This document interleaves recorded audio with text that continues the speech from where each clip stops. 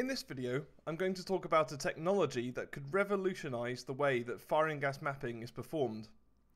That technology is optimization, and I'm going to show you how we've incorporated optimization into Detect 3D. But before the demo, let's talk about the why. If we think about fire and gas mapping projects, we're commonly trying to do one of two things. We're either maximizing coverage for a given number of detectors, or minimizing the detector count for a given coverage target. Since we're either minimizing or maximizing something, it's natural to think of these problems as optimization problems. Normally we solve them manually by sitting at our computers and working out them ourselves, but there's no reason why you can't use the mathematical tools of optimization to help solve them. This is what we've done in Detect 3D we've implemented optimization using genetic algorithms to help design detector layouts automatically to maximize coverage and minimize detector counts. It's an extremely exciting development of the software and it comes as standard right now for all Detect 3D customers. Genetic algorithms are an extremely elegant form of optimization based on the processes of biological evolution. In our case, what we're doing is evolving detector layouts into optimal designs. I'm not going to attempt to describe how genetic algorithms work in detail in this video, but at a high level, the idea is that detector layouts are grouped into generations, then ranked from best to worst, and then aspects of the best layouts are combined to form new layouts in a new generation. This process repeats, so that the best layout after 100 or so generations is the optimal layout. We've programmed the genetic algorithm from scratch, so we can do things like automate detector counts, which isn't easy using standard genetic algorithm techniques. One last point is that user interaction is still required. Just like any computer code, it's great at number crunching, but not good at making common sense or strategic decisions. So while it will help you minimize detector counts, you still need to think about coverage targets, fire sizes, which detectors you want, and so on. But in the hands of an experienced engineer, optimization is an extremely powerful tool. Without further ado, I'm going to show you how it works. Here I have the standard version of Detect 3D, and I've loaded a problem that I'm going to use to demonstrate optimization. I've got the geometry, zone, and some subzones around equipment, You'll notice I have a set of yellow crosses which mark out locations I've added that I've told the optimization would be good for installation and maintenance of a detector. I'm now going to load the optimization controller, which is the user interface for controlling the genetic algorithm. The main setting is the coverage target, which I've set to 90% 1 out of n and 50% 2 out of n in the zone, and 90% 1 out of n and 80% 2 out of n in all three subzones. The restrictions section limits locations and angles used by the optimization, and all other settings I'm going to keep as default. I'm going to press run here to start the simulation going. And this means the optimization is now trying to achieve the coverage targets I've set using the minimum number of detectors. The blue bar at the bottom indicates the progress of the current generation, and there are about 30 different layouts it has to calculate to complete a single generation. We set the simulation to start with just two detectors, which isn't enough to achieve the targets, but it's good for demonstration purposes. And you can see the field of view of each detector in red, which is the current best detector layout that it's found with those two detectors. It's now calculating the third generation and we expect to see a general improvement in the blue and red lines on the graph, which show the coverage of the best layout as it changes with each generation.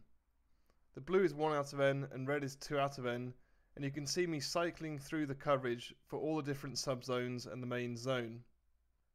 Now you may expect that these lines should always go up, because the optimization should generally be improving the best layout, but it's not quite that simple, as we're optimizing not just on the zone, but also on the three subzones.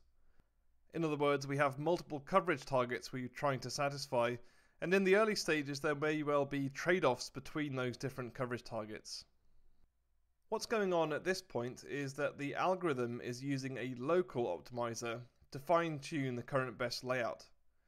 Although it's probably clear to us that two detectors isn't going to be enough, the algorithm is trying to do all it can to achieve the coverage target with just the two detectors. There are two ways that the optimization can try to improve coverage. One is by adjusting the locations and orientation of the detectors, and the other is by automatically adding detectors. And we can now see that it's actually automatically increased the detector count to 3, which has resulted in improved coverage in the subzones and the main zone. Three detectors can be seen clearly in the preview on the right.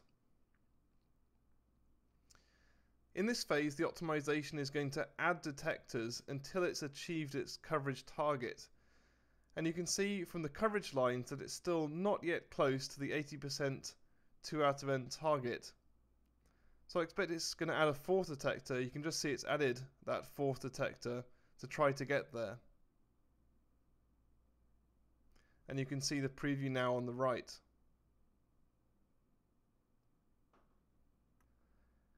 Now there's other output that we can look at uh, while the simulation is running. For example, here we have the number of detectors, starts at 2, increases to 3 and then 4. And I expect it's going to increase further before it's reached its coverage target. Now we haven't really talked about fitness, but it's actually a very important concept in the genetic algorithm. It's basically how the optimization rates or ranks each layout. It tells us also how close the optimization is to achieving its coverage target, and usually a fitness of about 1 indicates that the target coverage has been achieved.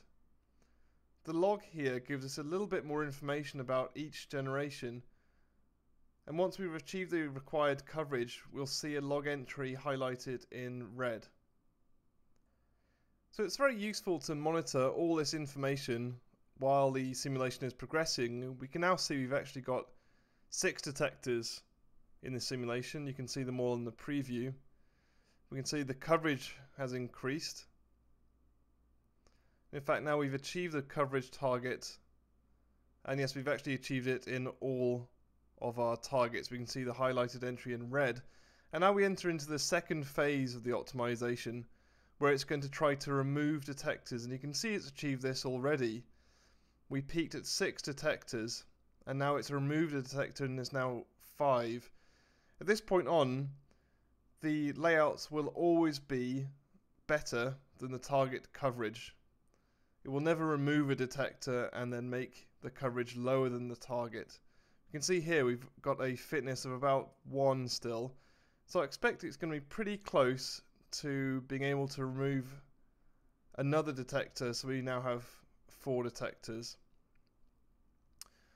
What the optimization is actually doing at this point is trying to adjust the positioning of all the detectors so that it can take one detector out.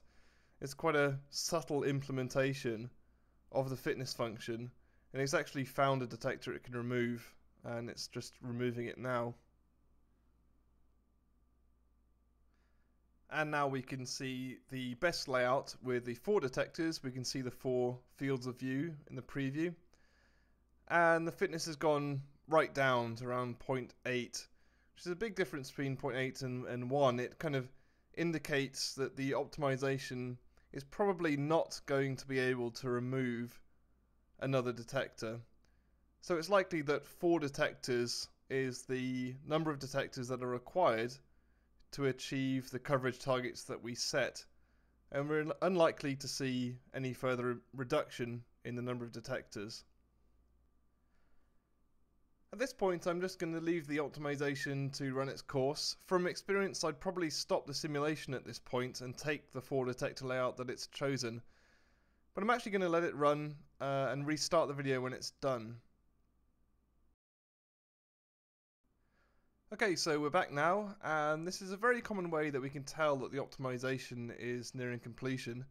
The maximum fitness you can see flatlined, and so has all the coverage of the zone and subzones. Which basically means the optimization is not finding uh, an improvement on the best layout that you can see in the preview. So at this point we can just stop the simulation. We're now going to add the optimized layout to the project. But we can see here that we've actually got two layouts to choose from. You can see by the coverage statistics that both layouts are actually above all the targets that we set. Both use 4 and you can see that the uh, preview of each layout in the main window. I'm actually going to pick the first layout so I can just pick add to project and it's added the fade detectors just as a normal uh, process in Detect 3D. So it's added the detectors in the optimized layouts. Um, you're not committed to this, you can edit the flame detectors and their positions just like normal. Um, and you can see here the flame detector coverage all above the targets that we set. And then you can just proceed with the project as normal. You can add contours. At one meter height. And you can do any of the post-processing or editing that you would do on a normal Detect 3D project. So we've seen the optimization in action, and I hope it's given you a flavour of its power. It can be used on much more complicated setups than this, and the main advantage of course is its ability to reduce detector count compared to a human design layout. There are very strong practical advantages too, as you can actually use the optimization to modify existing layouts, leading to a cost reduction as the optimization will improve coverage while minimizing the number of new detectors required. This will also lead to a better response to design changes for new and existing projects. For engineers that are actually performing the fire and gas mapping project work, there's also an increase in productivity as you can set up multiple overnight runs and pick up the optimized layouts in the morning. You can also increase and control quality by using a consistent optimization setup across an entire project. And lastly, if you want to have a go yourself with using genetic algorithms, you can do so by downloading Detect 3D from insightnumerics.com. And if you'd like to have more information, you can just email us at info at insightnumerics.com. Thanks a lot for listening.